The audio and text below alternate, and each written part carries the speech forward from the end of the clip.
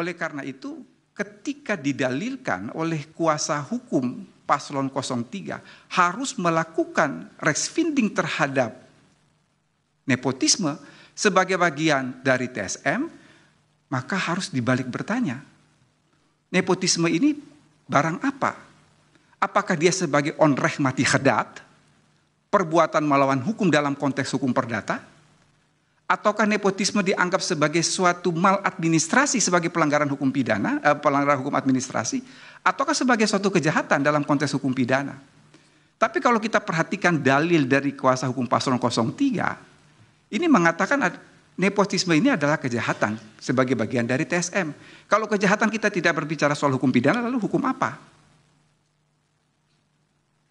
Seharusnya ketika yang mulia kuasa hukum paslon 03 membaca keterangan saya dengan seksama, saya tidak menyamakan pembuktian di Mahkamah Konstitusi ini dengan negatif West teori yang di yang ada dalam pidana.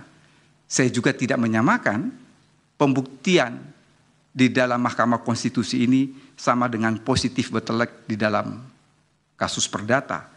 Tetapi kalau diperhatikan di halaman uh, di halaman 2 di situ saya mengatakan bahwa uh, terkait pembuktian yang ada di Mahkamah Konstitusi ini adalah mencari kebenaran material dalam bingkai kebenaran formil.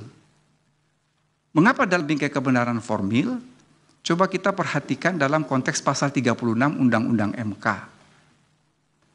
Alat bukti yang utama itu adalah surat. Kemudian baru ada keterangan saksi, keterangan ahli dan lain sebagainya. Meskipun di dalam situ dimasukkan petunjuk. Kita melihat urutan alat bukti seperti ini, berarti seolah-olah pembuktian di Mahkamah Konstitusi ini mengenal hierarki alat bukti. Tetapi tiba-tiba juga dimasukkan petunjuk di situ. Memang ketika petunjuk masuk dalam kuhab itu menjadi suatu perdebatan. Karena sebetulnya itu diambil dari pasal 339 Strafvordering di negeri Belanda. Bukan istilah petunjuk tapi pengetahuan hakim. Sehingga saya memandang bahwa pembuktian yang dilakukan di Mahkamah Konstitusi ini tidak ansih pidana, tidak ansih perdata. Bolehlah dikatakan dia suatu kuasi perdata atau kuasi pidana.